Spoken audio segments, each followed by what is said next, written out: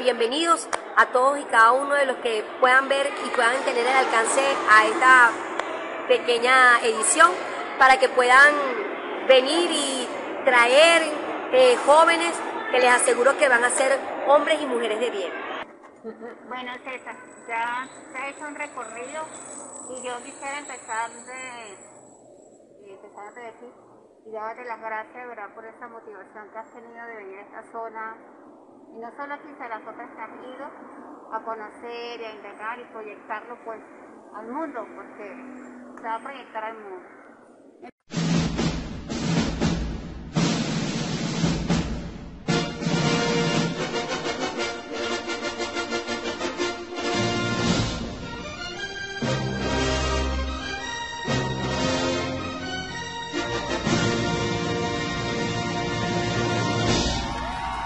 Bienvenidos a Palo Verde, a Petare, una comunidad muy bonita. Ah, soy José Suárez, yo soy habitante de Las Vegas de Petare, nací en el 60, siempre he sido oriundo de esta, de esta organización, de esta comunidad. Y una de las anécdotas que me acuerdo y me llama mucho la atención, que nosotros la juventud nos divertíamos muy sanamente y, creábamos nuestros juguetes y de hecho puedo decir que cuando estaban construyendo Palo Verde, nosotros eh, hacemos carruchas, carreras de carruchas. Esto llamó mucho la atención, creo que eran las primeras, porque de otra parte no me acuerdo de carreras de carruchas. Cada quien hacía su carrucha, los sábados hacía carreras, esto unió a las comunidades, Rosepeli, la agricultura, Palo Verde, los bloques de Petare.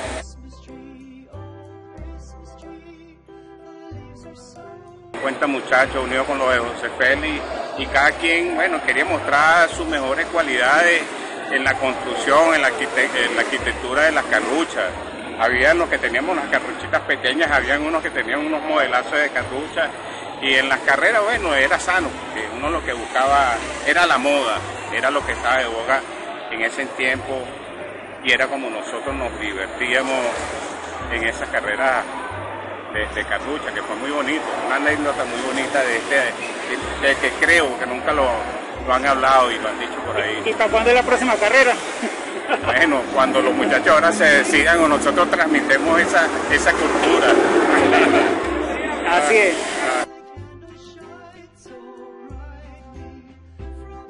Bueno, mi amigo Rubén, gracias por ese tremendo dato. Bueno, invitamos a todas las personas a acercarse aquí a Palo Verde. Eso vino teniendo su ventaja pues ya del año 75, 74, que donde empezaron a fabricar los edificios, algo de quinta. Pero esto era puros manantiales, o sea, eh, áreas verdes. Bueno, era muy bonito. Primero hicieron el área aquí abajo frente al centro comercial, que lo promocionó fue Museo la Caballería,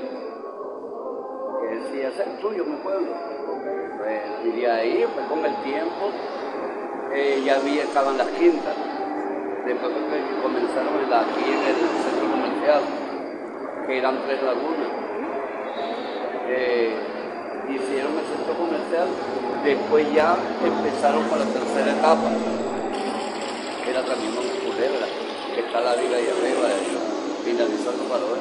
Eran tres lagunas, y la dinamitaron y construyeron un centro comercial. Mi nombre es Doris Brito y tengo el gusto de darle un recuento histórico de Palo Verde y de mis vivencias aquí en Palo Verde.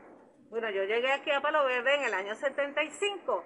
Palo Verde siempre ha sido una urbanización que a mí particularmente me encanta. Me encanta porque está céntrica, tiene acceso al metro, de verdad que sus avenidas son muy amplias, son muy despejadas y Palo Verde también debe su nombre a que desde un principio había muchos árboles. Todavía quedan, pero hace 40 años había mucho más. Eh, principalmente el nombre de los edificios de aquí de Palo Verde se debe a capitales, eh, ciudades y nombres de ríos. Por ejemplo, tenemos el edificio Montesacro, sabemos que Montesacro es donde nuestro libertador hizo su decreto histórico de la defensa de la patria. Luego tenemos eh, Gran Sasso, tenemos el edificio Roma, Italia, Buenos Aires, donde tengo yo el gusto de vivir, que siempre quise vivir aquí en Palo Verde. Tuve muchos años fuera de él, pero dije, voy para Palo Verde y aquí estoy, gracias a Dios. ¿Ok? Aquí, bueno, tenemos, tenemos un centro comercial donde hay bastante comercio, hay peluquería, todos los servicios los consigues en Palo Verde. Tenemos la Universidad Simón Rodríguez, tenemos el liceo, tenemos el, colegio Baute cerca, Ortega ¿verdad? Eh, nosotros trabajamos aquí en el INSE, que es una institución educativa donde vienen los adolescentes de bajos recursos y nosotros particularmente los atendemos con mucho gusto. Tenemos aquí al profesor de albañilería, la profesora Rosa, que es en la parte de los accesorios, adornos, qué sé yo, el profesor Carlos, que es el coordinador del instituto, y el profesor Alba, que es el profesor de matemáticas. Yo, bueno, tengo el gusto de darle las clases a los muchachos de lenguaje, cultura y comunicación. De verdad que mi experiencia y mi vivencias aquí en Palo Verde han sido maravillosas. Yo no cambio Palo Verde por nada. Palo Verde tiene de todo. Tiene la zona industrial, eh, todo, todo lo que le he dicho. Palo Verde tiene de todo. El que quiera puede venir, que yo misma los atiendo, pues. La historia de Palo Verde eh, es un poquito larga, ¿no? Aunque para la construcción de viviendas y edificios eh, fue, digamos que en 1974 ya estaba comenzado, pero tenían toda la planificación.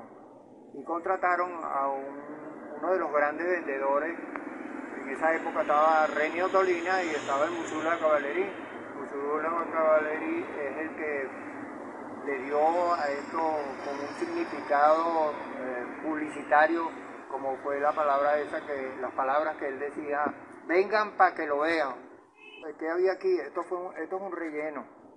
Aquí vean grandes lagunas muy conocidas, la laguna del Loro era la más grande, y es una laguna bellísima, venía mucha gente a hacer turismo acá, a visitar esto, era navegable, eh, familias completas, ese es como el río Guaire, que también era navegable, y, hacían muchos sancochos, pues, lo que alquilamos nosotros a pasear.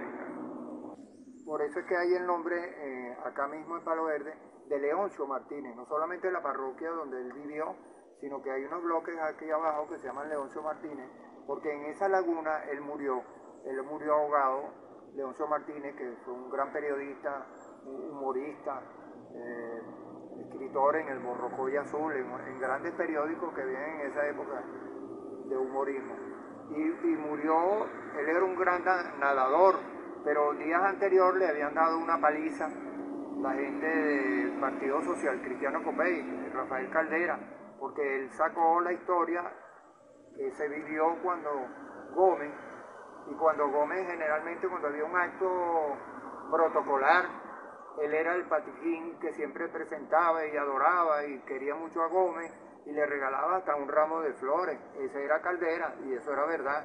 Y eso, ese tema lo, sacó a colación Leoncio Martínez y por supuesto que el presidente de la UNE, que era Rafael Caldera, no le gustó y fue con unos cabilleros y le entraron a golpe. Él tuvo grog y él estuvo en el hospital. Se recuperó, pero nadando aquí en, la laguna del Oro, él sucumbió, pues le vinieron los dolores, qué sé yo, calambre, qué sé, y murió.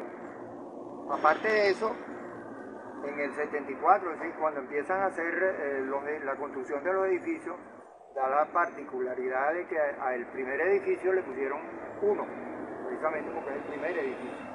Por eso se llama uno, que está al lado de la farmacia o la farmacia está ahí, en una zona industrial donde hay grandes industrias eh, de persiana, blon, eh, varias empresas grandiosas, Junior, Calzado Junior, eh, Caribe, las lanchas Caribe, y hay unas cuantas más reciclaje, hay, grandes empresas ahí. Aquí enfrente está una panificadora también muy conocida, está la Universidad Simón Rodríguez, uno de los núcleos más importantes que ahí se está dando ahorita veterinaria, que antes no se podía estudiar aquí en Caracas, no se podía ni soñar con veterinaria aquí, pues la Universidad Simón Rodríguez está dando veterinaria. Eh, y otras, otras ramas que no existían aquí. Entonces, Palo Verde, de verdad que eh, fue bien planificado, la gente que, ha fundado esto y siguen llegando son gente muy buena, nos entendemos, saben planificar sus cosas. El centro de reuniones generalmente es este INSE, eh, aquí vienen casi todas las organizaciones y planifican luego lo que va a haber. En estos días va a ser el Día del Padre y vamos a tener un evento precisamente en la Simón Rodríguez y aquí donde eh, la, la- nueva estación de policía que hay aquí en Palo Verde. Cualquier cosa, pues vamos a la orden.